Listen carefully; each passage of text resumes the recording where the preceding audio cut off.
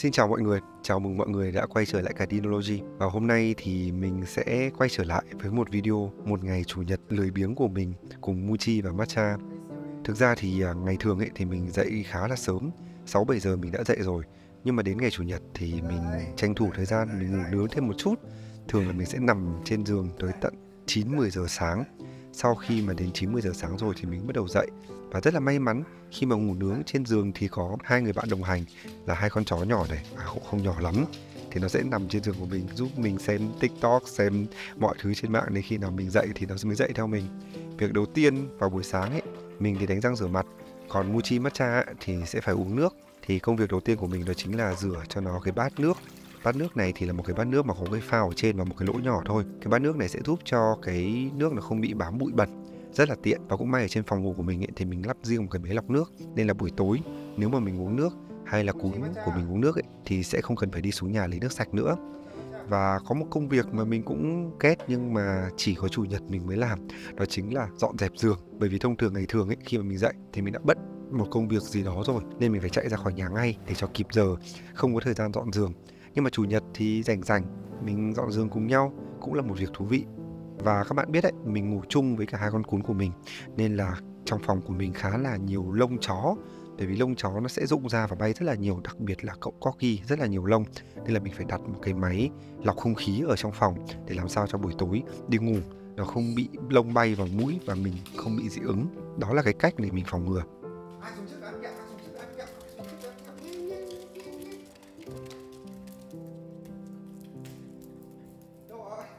Uống nước xong thì việc đầu tiên của Muchi Matcha đó chính là ăn kẹo dental, có nghĩa là cái kẹo mà làm sạch răng của chúng nó.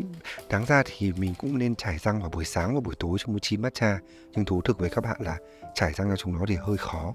Nên là thôi, uống nước và ăn kẹo dental, ăn gian một chút nhé. Và video này thì không phải là nhật ký về mình, nên là mình sẽ cập nhật về lịch trình của mochi Matcha thôi nhé. Trong lúc mà chúng nó ăn ấy, thì là cái thời gian mình cũng ăn.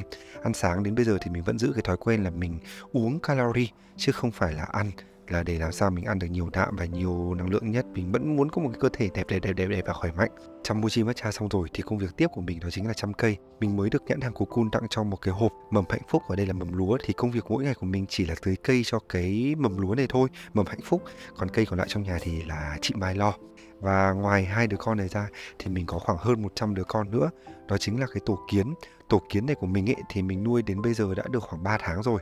Giống kiến này tên là giống kiến ờ, mesostructure, là một giống kiến ăn hạt và mỗi ngày thì mình sẽ cho chúng nó ăn một chút hạt, cộng một chút mật hoa. Mật hoa trong này thì cũng là một loại mật hoa dành riêng cho kiến. Ở trong này có rất là nhiều khoáng và vitamin. Thì khi mà mình nuôi được một đàn kiến ấy, ban đầu mình nuôi nó có khoảng 20 con thôi. Bây giờ lên đến hơn 100 con. Nhìn đã gì đâu đấy các bạn. Mình thích nuôi kiến là bởi vì mình nhìn được cái thói quen sinh hoạt của chúng nó. Chúng nó nề nếp lắm, mình cần phải học hỏi nhiều. Nhìn cái xã hội của loài ong, loài kiến loài mối thì chúng ta còn phải học hỏi rất là nhiều cho cái xã hội loài người của chúng ta. Để làm sao nề nếp và quy củ hơn.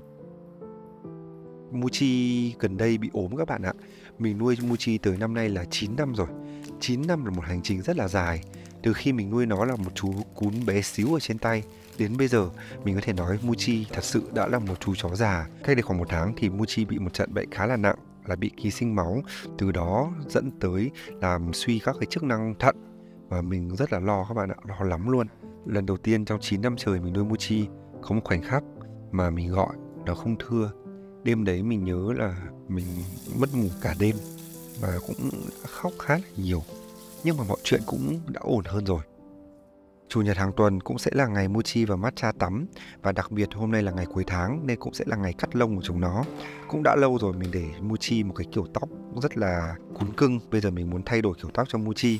Đấy là lý do tại sao mà hôm nay mình sẽ phải mang cái máy lọc không khí ở trên nhà xuống để mình vệ sinh, chuẩn bị cho buổi cắt lông. Và đây cũng là một cái sản phẩm mà mình rất là muốn giới thiệu cho các bạn.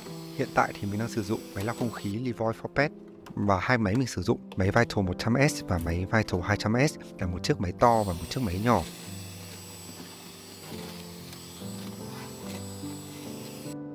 Máy nhỏ thì mình để trên phòng ngủ dành cho không gian khoảng 52 mét vuông, còn máy to thì mình để ở dưới phòng khách dành cho không gian lên tới 88 mét vuông. Thực ra thì mình đã từng sử dụng rất là nhiều máy lọc không khí khác nhau, thậm chí là mình còn sử dụng quạt không khí rất là mắc tiền của Dyson nữa. Nhưng tất cả những cái thiết bị đó đều không chuyên biệt dành cho những người nuôi thú cưng và đây là lần đầu tiên mình sử dụng một chiếc máy chuyên biệt dành cho thú cưng.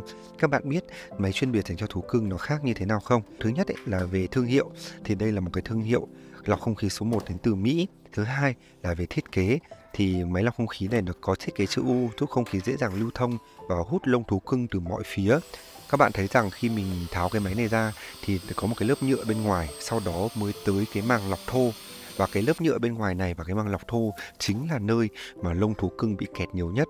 Các bạn tưởng tượng xem, mở máy ra, lông nhiều đến như thế này thì chiếc máy này đã giúp không khí trong phòng ngủ của mình sạch như thế nào qua mỗi đêm.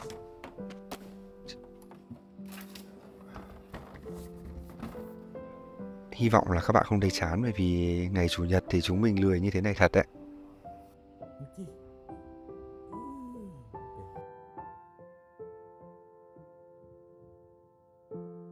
Nhưng mà lười thì cũng phải ăn chứ bởi vì à, thú thực là sau cái đợt bạo bệnh vừa rồi ấy, thì Mochi trở nên rất là gầy.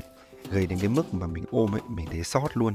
Chỉ có da bọc xương thôi. Và trước đó ấy, thì bác sĩ khuyến cáo là mình không nên cho Mochi ăn thịt nhiều bởi vì là thận đã bị tổn thương và tổn thương cơ quan nội tạng ấy thì rất là khó và rất là mất thời gian để có thể hồi phục được. Thận ấy thì là cái nơi mà lọc mọi cái chất thải từ protein là từ chất đạm nên là nếu mà ăn thịt không kiểm soát ấy, thì rất dễ gây tổn hại thêm về thận cho Muchi và sau một cái thời gian ăn kiêng như thế Muchi sút cân rất là nhiều. Nhưng mà may mắn thay, thì sau 3 tháng mình xét nghiệm lại, thì những cái chỉ số sinh hóa về thận của Muchi đã trở lại bình thường và hiện tại thì Muji chính thức bước vào giai đoạn vỗ béo và tăng cân và muốn vỗ béo và tăng cân thì không có cách nào khác, chỉ có một bí quyết thôi, đó chính là pate ngon tuyệt đỉnh nhất trần gian của bố Dino nấu. Từ bé đến giờ Muchi và Matcha chưa từng chê lần nào ăn pate của Dino nấu thì cũng tăng cân.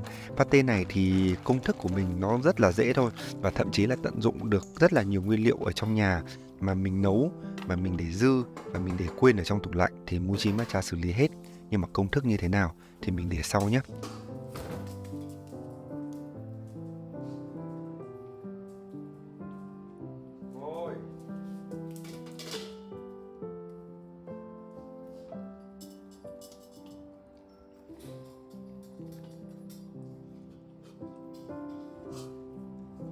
Bây giờ thì đã đến giờ mà các cô chú từ Pet Service đến chăm sóc lông và tóc cho Muchi rồi. Có một sự thật rằng là các cô chú này đã có kinh nghiệm là 3 năm rưỡi hơn chăm sóc cho Muchi và Matcha về lông và tóc. Và các cô chú thì rất là dễ thương, lần nào tới cũng mang quà cho Muchi Matcha. Mình thì mình hay tắm trong Muchi Matcha khoảng à, uh, 2 tuần một lần để tiết kiệm tiền. Bởi vì thực tế là từ hồi lên chung cư nó cũng sạch hơn rất là nhiều. Ngày xưa ở nhà đất ấy thì mình phải tắm hàng tuần. Nhưng mà lên chung cư thì tiết kiệm tiền cho bố một chút sạch sẽ hơn lâu bẩn hơn nên là cũng đỡ tốn tiền còn khoảng một tháng đến hai tháng một lần thì sẽ được cắt tóc cho đẹp trai cả hai thằng. Nhân tiện có cơ hội cắt tóc thì phải quay một cái tiktok chứ lị, bởi vì bố Tino bỗng dưng bây giờ có thể tự tin gọi bản thân mình rằng là tôi đã thành gần gần tiktoker rồi, nên là hai thằng phải hỗ trợ bố làm tiktok nhá các cô chú thì thường hay tắm mochi matcha ở ngoài ban công lớn bởi vì ngoài này có nước rất là nhiều, rộng rãi thoáng mát. Tuy nhiên vào cái mùa hè nóng như thiêu như đốt này thì không thể để các cô chú cắt lông ở ngoài nóng như thế được nên là các cô chú sẽ ngồi ngoài hiên. Mà ngồi ngoài hiên thì có nguy cơ là lông sẽ bay vào nên là bố phải chuẩn bị cả hai cái máy lọc không khí làm hai ông thần gác cửa để cho không có một cái sợi lông nào bay vào nhà hết. Khi mà mình bật chế độ thú cưng chuyên biệt chỉ cái máy này có thì sẽ giúp phát hiện các hạt lông thú cưng một cách dễ dàng, tự điều chỉnh tốc độ quạt làm sạch lông thú cưng ở trong không khí, khử mùi một cách nhanh chóng. Bởi vì lông thú cưng ấy ngoài cái vấn đề nó bay vào mắt vào mũi ra thì nó có một cái vấn đề nữa đó chính là lông thú cưng ấy thì luôn có một cái mùi đặc trưng. Vì vậy cái công nghệ khử mùi thì sẽ giúp cho cái mùi thú cưng ở trong nhà nó giảm đi rất là nhiều. Ngoài ra khi kết nối với app thì mình có thể dễ dàng tắt mở chế độ thú cưng, lên lịch vào thời gian mà thú cưng ở trong nhà mình hoạt động nhiều nhất. Và nói thực với các bạn thì mình nuôi chó, lông chó thì nó khá là nặng nên là công lực của chiếc máy này không được thể hiện hết. Tuy nhiên bạn nào mà nuôi hoàng thượng ấy, nuôi mèo ấy thì các bạn sẽ thấy là chiếc máy này nó lợi hại đến như thế nào. Bởi vì lông mèo rất là nhẹ và rất là dễ bay trong không khí nên là cái luồng không khí có lông mèo đi vào chiếc máy này sẽ bị chiếc máy này giữ lại chặt ở bên trong và thôi. Và các bạn có thể nhìn thấy rằng và quá trình để các cô chú cắt lông và tắm cho Muchi Matcha thì thường khá là lâu Quá trình này kéo dài có khi tới tận 4 năm tiếng nên là để có mochi matcha ngủ trên giường, ngủ trên sofa của mình ấy thì thật sự là phải cảm ơn các cô chú rất là nhiều, rất là mất công, rất là vất vả. Và quy trình thường là bắt đầu bằng việc tắm trước, tắm cho sạch sẽ và trải lông bông lên tơi lên thì chúng ta mới có thể tạo kiểu được. Và hôm nay thì mình đã chọn một cái kiểu tóc rất là đặc biệt cho Muji bởi vì lâu lắm rồi Muji không để một kiểu tóc sành điệu và hôm nay sẽ để một kiểu tóc đó chính là kiểu tóc kiểu châu Phi một chút tóc xù ở bên trên còn tai thì chọc còn matcha. Thì thực ra con này nó không để được nhiều kiểu tóc đâu các bạn ạ. Nên là mình chỉ có một cái tham vọng nhỏ nhoi đó chính là có một cái trái tim xinh xinh ở đằng sau đít vậy là đủ rồi. Khi mà đến công đoạn sấy và cắt lông ấy, thì cái lông tơ nó bay lên vô cùng nhiều. Các cô chú thì phải đeo khẩu trang. Còn mình ấy, thì mình sợ rằng là những cái sợi lông này, nó sẽ bị kẹt ở trong nhà, nó sẽ bị mắc vào rèm cửa hay là bị mắc vào gầm ghế. Như vậy thì rất là mệt mỏi trong quá trình vệ sinh sau này. Tuy nhiên là với hai ông thần khác cửa này, những cái sợi lông nhẹ bị cắt ra mà không nặng như những cái sợi lông dài rơi xuống đất ấy, thì nó sẽ bị hai ông thần các cửa này hút vào hết trời ơi cái cảm giác này nó mới tuyệt vời làm sao và đặc biệt hai ông thần gác cửa này có một cái chế độ bảo hành vô cùng tốt lên tới tận 2 năm. Thông thường các máy lọc không khí khác chỉ có bảo hành một năm thôi, nhưng là vì chất lượng bền bỉ nên là máy lọc không khí Levoy bảo hành lên đến tận 2 năm cho những tín đồ yêu thú cưng nhé. Ok và trong lúc mà hai đứa này đang cắt lông ấy thì mình sẽ chỉ cho các bạn công thức làm pate vỗ béo các hoàng thượng các sếp trời ơi dễ lắm các bạn ạ bởi vì mình ấy là một người nấu ăn rất là nhiều nhiều khi mình mua đồ về và mình cất ở trong ngăn đá và mình quên mất mình không sử dụng.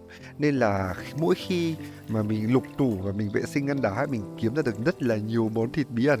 Và ngày hôm nay thì chúng ta có một miếng sườn cốt lết thừa lại vào một miếng thịt mông thừa lại, cộng với rất là nhiều khoai mà hôm trước mình làm chè khoai dẻo mà còn thừa lại và cà rốt. Thực ra là một đồ cho hai hoàng thượng, nhưng mà toàn là đồ thừa của bố thôi. Và với một cái chiếc nồi áp suất thì mình chỉ cần cho tất tần tật vào trong nồi áp suất, ninh nhừ trong vòng khoảng 45 phút cho tới một tiếng là nó nhừ và nó mịn ra là như pate rồi. Và đặc biệt là cho thú cưng ăn thì mình không cho nhiều muối, chỉ cho khoảng hơn một thìa một chút cho với lượng đồ ăn rất là nhiều này thôi để cho có vị. Chứ không ăn nhiều thì sẽ rất là hại thận hại sức khỏe của chúng nó nữa. Và hy vọng rằng các cậu cắt lông xong các cậu thích.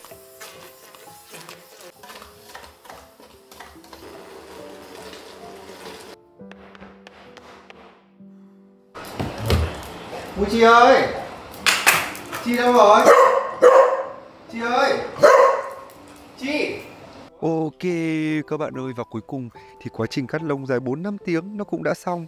Tạm biệt các cô chú và hẹn gặp lại các cô chú vào hai tuần nữa nhé. Còn bây giờ hai thằng nó có đẹp trai không các bác?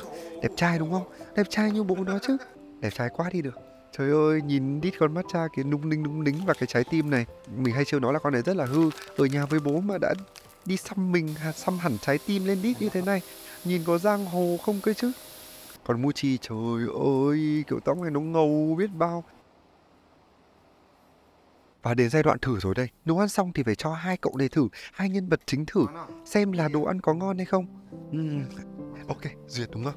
Được, được, được. Nhìn hai cậu như thế này, có vẻ là ngon, có vẻ là duyệt rồi đấy.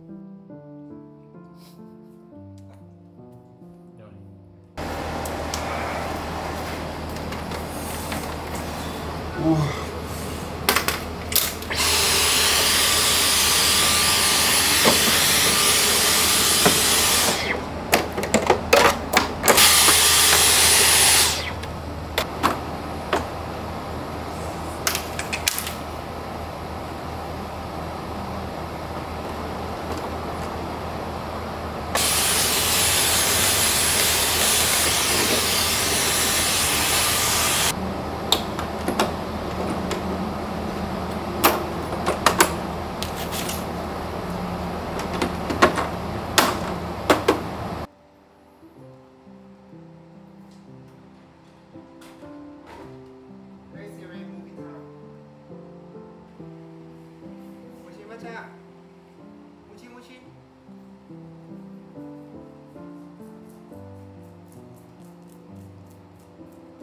Cuối cùng cũng xong một buổi sáng chủ nhật của ba bố con chúng mình rồi.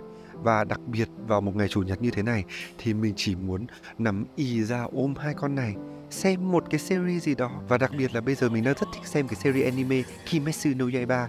Tiếng Anh là Demon Slayer hay tiếng Việt là Thanh gươm diệt quỷ, mê lắm ấy các bạn ạ. Mình cứ xem từ tập này qua tập khác, xem đến đâu buồn ngủ thì lại ôm hai thằng này ngủ. Ôm hai thằng này ngủ tỉnh dậy thì lại xem phim xem phim chán rồi lại ăn. Đó chính là một ngày chủ nhật trong mơ của mình. Đáng ra buổi chiều thì mình sẽ đưa chúng nó đi dạo ở công viên nữa cơ.